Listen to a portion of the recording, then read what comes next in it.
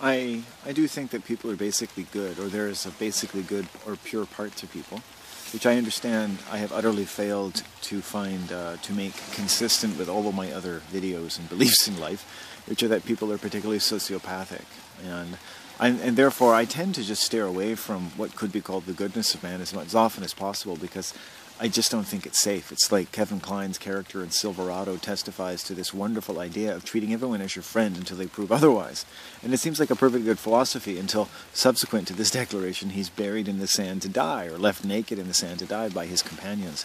Uh, you see this this topsy-turvy logic, you know, and uh, so I think it depends on your situation. You know, you may trust your family or your immediate friends, and I'm sure most people have a better idea of men or women than I do, in so much as my experience of both has been rather unsatisfactory. You might say I've chosen my path in that regard.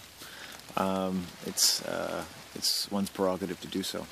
Um, so my world may not translate well to a lot of people, but nonetheless, it's mine. And um, I think if you look at, you know, every, you know, pure man has an idea of women. Every pure man uh, has an idea of women. Sorry, every pure woman has an idea of men, may be more or less good or not, and we're all contributing to people's experience of men, or women's experience of men, and men's experience of women.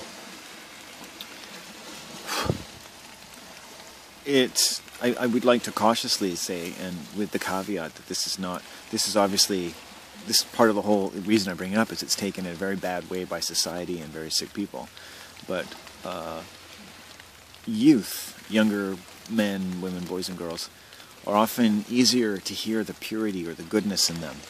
And it's not that they're more pure than, say, our elders, but that it is evident that our purity becomes hidden and buried under the folds of a world, that whatever we may testify to as of its goodness and purity forces us to hide that purity as we get older. And that is a totally unnatural part of what people usually end up calling the aging process and all the sicknesses thereof. You can draw pharmacology out and anthropology to everything in the world. It's all pharmacology. It's all a chemical religious control.